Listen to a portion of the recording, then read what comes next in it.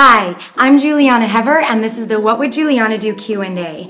Today's question is, well, if we can't get our omega-3 fatty acids from fish, where should we get them? Good question. Well, we can get our omega-3 fatty acids from plant-based sources. Now this comes to us packaged as ALA, alpha-linolenic acid. Now our body is able to take ALA and convert it into DHA and EPA. Those are the essential fatty acids, the long-chain fatty acids that our body requires for anti-inflammation, for brain function, for a lot of different things. It's an essential fat.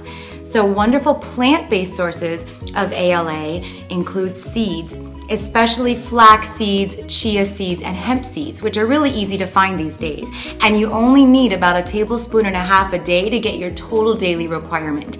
You can also get them from walnuts. A quarter cup a day of walnuts will give you all the omega 3s that you need for the day. Other sources are soy products, tofu, tempeh, uh, edamame. Those are wonderful, rich sources of ALA, omega 3 fats.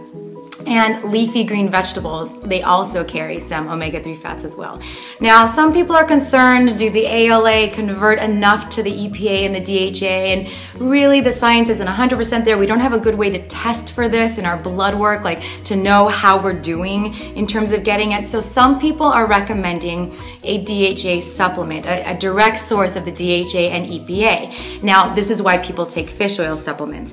Instead of fish oil supplements, if you are concerned, you can try a plant-based formula. They have microalgae formulas of DHA and EPA. So if you are concerned or your doctor's concerned, I would uh, recommend going for the, the plant-based version instead of the fish oil, of course. But we don't necessarily know that you need that. So maybe once in a while, having one of those, uh, you know, just as backup is fine. You don't want to take too much of it. It's best to rely on whole food sources overall.